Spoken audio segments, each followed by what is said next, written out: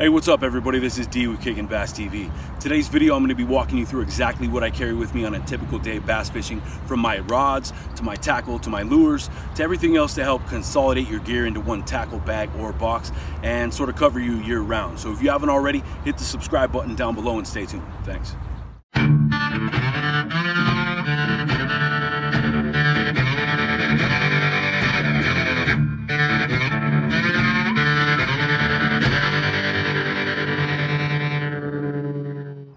Alright guys, so today we're going to be showing you our sort of all-in-one bass fishing tackle bag and pretty much what we carry around with us on a typical day bass fishing year-round.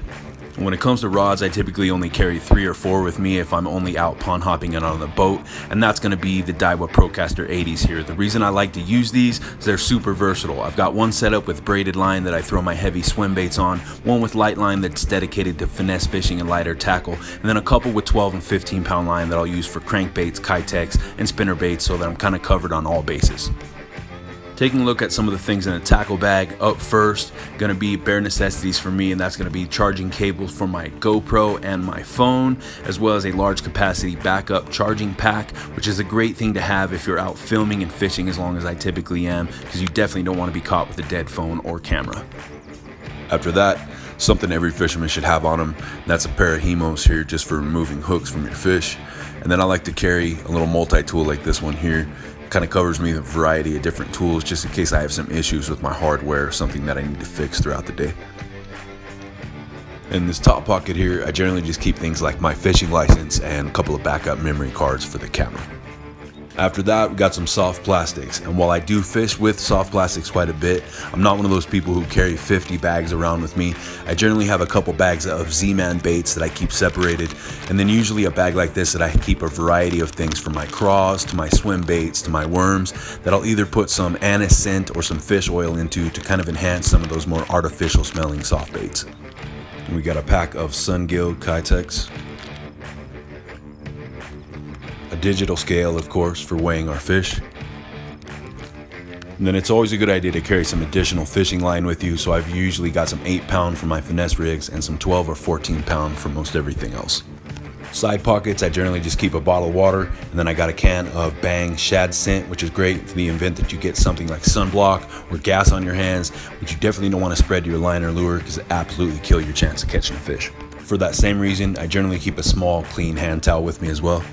And when it comes to the main portion of my arsenal, I like to keep things contained to three small Plano boxes, which I find is more than enough to carry with me what I need. And I'll go ahead and walk you through what I keep in each of those right now. This first box is where the majority of my terminal tackle and finesse baits will be kept. Starting off with my Senko worms, as well as a few of my favorite trick worms that I like to throw, Moving down to the terminal tackle, I've got my worm weights, peg stoppers, treble hooks, Ned rigs, miscellaneous hooks for drop shot fishing and snagging carp, offset hooks, and of course weighted swim bait hooks. Then I've got some more Keitechs here. I've also got a variety of plastics that I like to throw year round, which are my green and red Champ Cross, these glow flukes, and one of my favorite go-to smallie baits, which is a grub tail worm here. And that's pretty much it for that tray, which for the most part covers all of my bases as far as my finesse fishing goes, as well as any terminal tackle that I find I might need to replace throughout the day. Next up going to be my spin baits, swim baits, and topwater lures. Not pictured here are my S-Waver glide bait and topwater frog, which are currently tied on the line. But I've got my 360 GT surge bait line that I like to throw in a variety of different shapes and colors. I've got a heavier, quicker sinking minnow swimmer I've got a couple of hard body segmented swim baits, and then I've got a variety of different power bait style swim shads. I've got a couple of my favorite topwater buzz baits, which are actually the smaller Strike King Mini Pro buzzes, and they're great for smallies, as well as a couple of finesse jigs for flipping and throwing into cover. I've got my favorite bluegill imitation weedless skirted swim jig, as well as a chatterbait with a Rage Craw trailer. And then moving over to the spin bait side of things, I've got everything from this large profile double willow bladed spin bait with a Keitech swimmer to a more traditional double Colorado bladed spin bait with no trailer on it. And that pretty much covers our wire baits, swim baits, and jigs. And in our third and final box today, something that I don't think any bass fisherman should ever leave home without, and that's a tray full of crankbaits. To start out, we've got some smaller inch to inch and a half size lipless cranks that range in body weights of eighth of an ounce to quarter ounce and are great for fishing for smallmouth bass.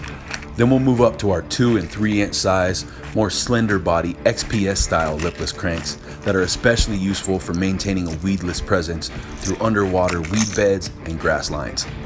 Next up is going to be my favorite lure and the one that you guys have seen us catch the most fish on, and that's going to be the Cotton Cordell Red Craw Imitation Lipless Crankbait, which we specifically like to upgrade with matching red Gamakatsu treble hooks. Then I've got my shallow to medium diving square bill cranks, which are gonna cover me in depths of anywhere from two to 10 feet. I've got a couple of suspending jerk baits that are great all the way from the beginning of the fall transition straight through to the post spawn, specifically the Storm Perch style ripstop. Then I've got this much larger three and a half inch crankbait, which is great for catching those deep water summer bass. I also keep a variety of different minnow style crankbaits on hand from the smaller body wally divers to the larger arch body deep diver like this one here. And last but not least, my deep diving crankbaits, I like to stick with the tried and true, the Strike King 5 and 6 XDs or the Storm Arashi Deep 25s. And that pretty much covers all the different crankbaits that we'll throw year round.